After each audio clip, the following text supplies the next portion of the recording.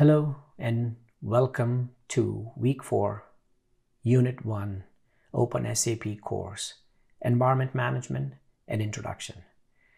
My name is Hitesh Patel. I'm a product manager at SAP, responsible for SAP S4HANA Environment Management.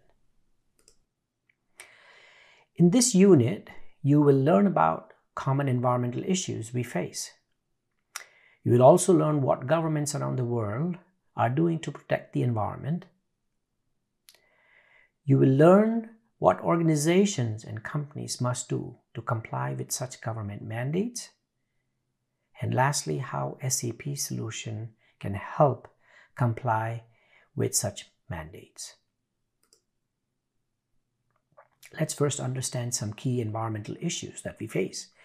You must have heard of climate change, in other words, global warming, greenhouse gas emissions are one of the key contributors to the climate change.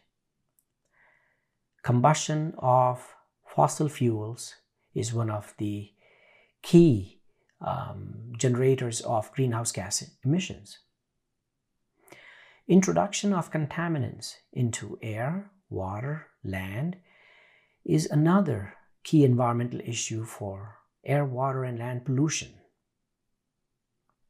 And lastly, resource depletion. We only have so many resources, natural resources, air, water, land, that we can use. Let's understand first how are these key environmental issues being dealt with and what's being done to protect our environment and ecosystem. First, environmental protection. What is it? It is the act of protecting the environment by an individual, organization, or a government entity. Governments enact environmental policies and regulations, and in some cases issue license to operate or permits to protect the environment.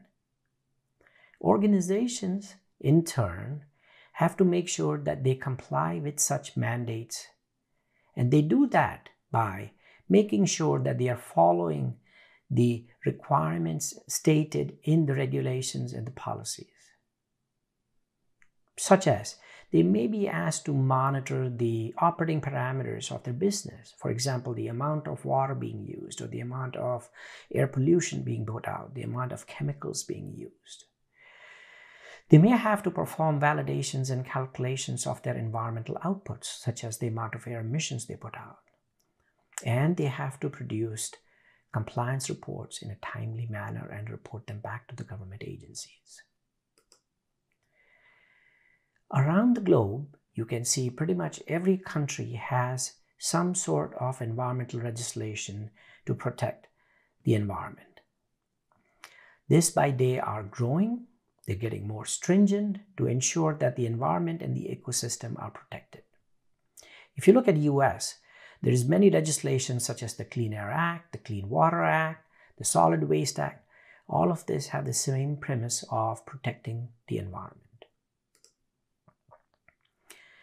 On top of the regulations, there are internal and external stakeholders that request environmental performance data.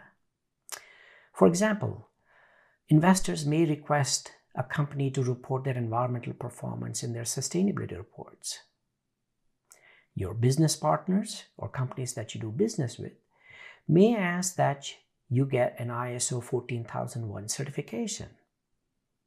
ISO 14001 is an environmental management systems certification from an international body called ISO. Additionally, they may have pressure from internal departments of the company to ensure that the risk of non-compliance is managed and that the brand image is preserved. Knowing that there are many environmental legislations and that there are internal and external stakeholders that are demanding environmental performance data, this poses a lot of challenges to an organization. What are those challenges? Well, first of all, They have to follow all requirements that are stated in the regulations or their permits and licenses, and these could run into thousands.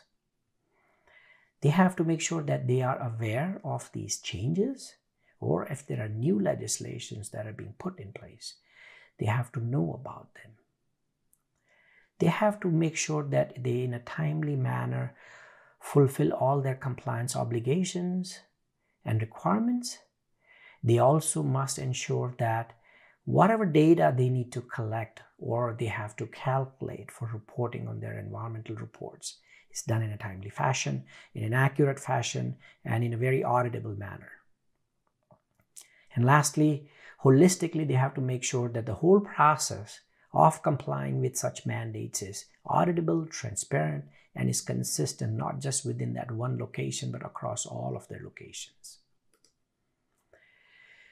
Managing compliance requirements you know stemming from government mandates or from internal external stakeholders is very complex and time consuming there are many advantages for softwares being leveraged to manage your environmental compliance process first of all you have now the ability of deploying a transparent auditable compliance business process Software could have abilities for having a powerful calculation engines that can help you accurately quantify the amount of environmental outputs. They could also have pre-built emission factor libraries. Such libraries will ensure that the emissions that you calculate are consistent, not just across that one location, but across the, all the locations of the business. You also have the ability to integrate your business process into other departments such as accounting, maintenance, finance, HR. Softwares also provide you the ability of automated workflows and notifications. This ensures that all your compliance obligations are done in a timely manner and completed. Softwares can also provide you an ability to monitor your environmental thresholds in a proactive manner. You can have warning limits by which the systems can tell you when you are approaching a certain threshold of a pollutant. And lastly, the softwares can help you report your data in a very transparent and a timely manner. SAP Environment Management is just such a solution. SAP Environment Management is a solution offered as part of the environmental health and safety solution offering at SAP. So, what is the key objective of this solution? Well, there are two main objectives. One is to help organizations reduce their environmental impact.